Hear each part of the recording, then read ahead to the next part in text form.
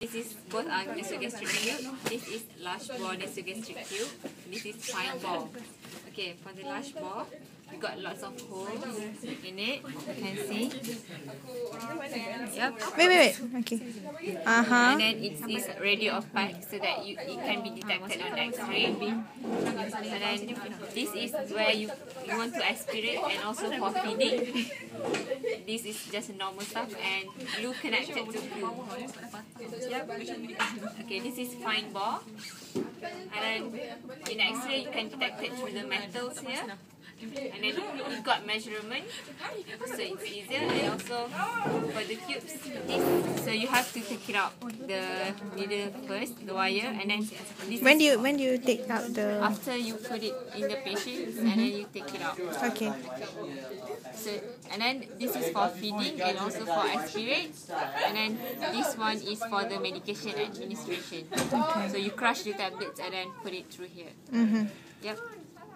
And then this is normally suitable because it's much more flexible, so it's suitable for elderly patients. Okay. And how you, you want to measure other patients? First, find the xiphoid process.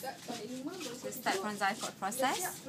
Go through at the back of the ear, up to the nose. So that's it.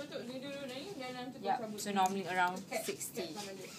Centimeter. Yep. And then the contraindication for the nasogastric tube is when the patient having esophageal varices and then suspected a fracture of the base of the skull and then uh, on an, any anticoagulant therapy. So risk of bleeding. Risk of bleeding. Yep. And then how to confirm the place of the nasogastric tube? Do the X-ray. That's the main thing. Or you can inject the air through the syringe and listen if there's like farty sound, like that. Or you can aspirate and then check with the litmus paper if it's The gastric gastric content. content. Yep. Yep. And never feed the patient unless you do the X-ray first. okay. okay. Thank that's you, it. Tira. Thank you. Bye.